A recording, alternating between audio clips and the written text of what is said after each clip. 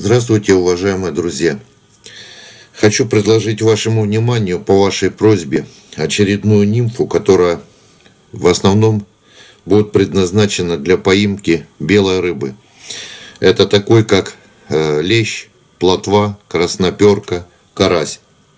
Крючок я взял Камасан, э, серия 400, номер я взял 16 огрузил 2,5 диаметром латунной бусинкой и, как вы видите, я еще не ставил на клей, на клей немножечко огрузил свинцом.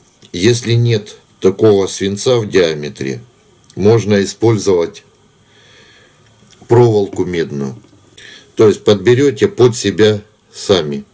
Немножечко промажем цевье и задвинем наш свинец так, чтобы у нас оставалось порядка 1-2 миллиметров для крепления нашего перышка.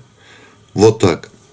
Нежелательно задвигать, так как у нас появится потом своеобразное жабо, которое нехорошо смотрится на нимфе. Нимфа должна быть прогонистой, но и в то же время иметь хорошее тело. Попробуем ее изготовить с использованием тех материалов, которые у нас имеются. Я беру нить, которую я вот распускал, синель малинового цвета, красную, малиновую, то есть любой оттенок, который будет у нас достаточно ярко выделяться на месте крепления хвостика. Закрепили и теперь подводим нашу нить к месту крепления предполагаемого хвостика до начала загиба. Этого будет достаточно. В качестве хвостика желательно использовать материалы яркие, но и в то же время не сильно вызывающие. Вот у меня имеется по остаткам вот такое перышко флуоресцентное. Это э, перо из э, петушка который предназначен для изготовления стримеров. Поэтому я выбираю кусочек там, где у меня достаточно э, мягкое перо. Можно даже взять кусочек пуховой части. Хвостик должен равняться э, длине нашего тела. Или ну, несколько быть короче но не длиннее. Подхватим и посмотрим парочка виточков, посмотрим величину нашего хвостика. Вполне достаточно меня устраивает. Сразу удаляем, чтобы не было скомканности материала. Остатки пера. Для улучшения привлекательности я буду использовать ну все тот же дождик, который я вам уже показывал. Имеется вот наподобие такой, такой материал или же я сейчас вам покажу. Есть вот такой материал разных оттенков. Если нет, возьмите обыкновенную проволоку, подходящую по диаметру. Это будет у нас только лишь как привлекающий элемент. И теперь уже окончательно подхватим здесь, еще раз посмотрим, нас все вполне устраивает. Слегка приподнимем наш хвостик и как обычно я уже неоднократно вам показывал, через ноготочек приподнимем его на цевь. Теперь нам с вами понадобится очень-очень аккуратненько, удерживая наш хвостик, чтобы он никуда не убежал, подровнять, разровнять нашу нить и вот в этом месте изготовить вот такую красненькую точку для прицеливания. Оставляем. Такого типа мы уже с вами изготавливали неоднократно, поэтому здесь ничего сложного нет. Я взял кусочек павлиньего пера с глазковой части.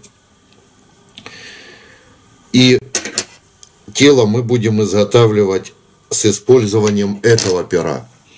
Если у вас по каким-либо причинам имеется вот такой материал, который я показывал уже неоднократно, жаль, блестит, невозможно увидеть, но это обыкновенная резиночка, которая используется для рукоделия.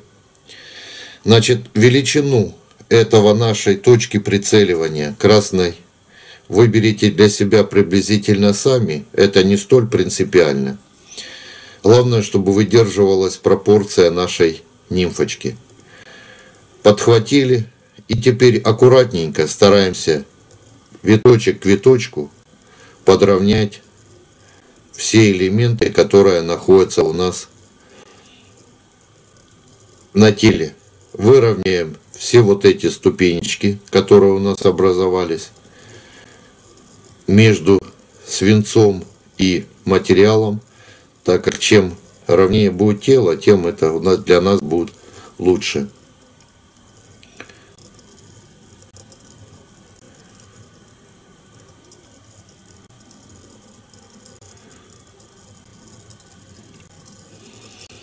И возвращаем нить в район, где мы будем формировать с вами грудку. И как обычно, я уже неоднократно это мы с вами изготавливали. Промажем немножечко клеем и изготовим тело.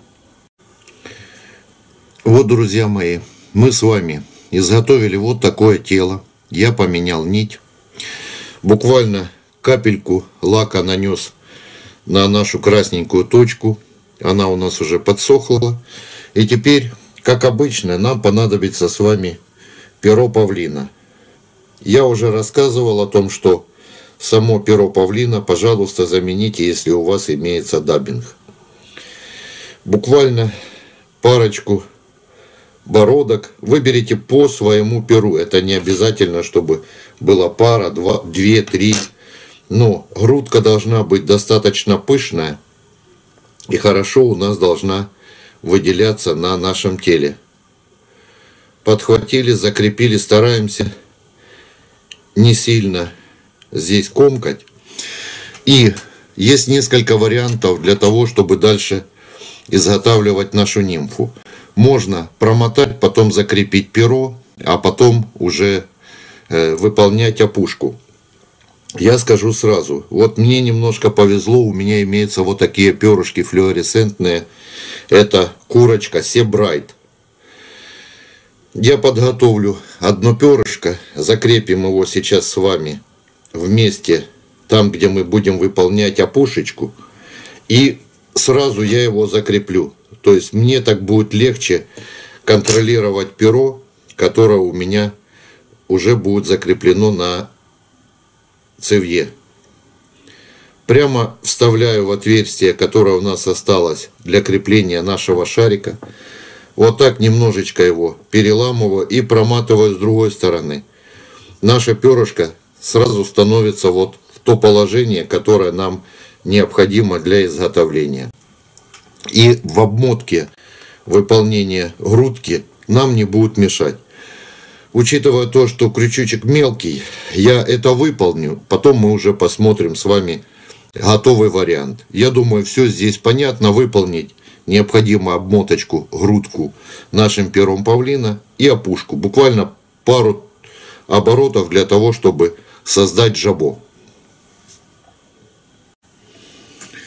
Вот и все, друзья мои. Как вы видите, достаточно быстро, если меньше разговаривать изготовить нашу вот такую нимфу. Нимфа, скажу сразу, она универсальная.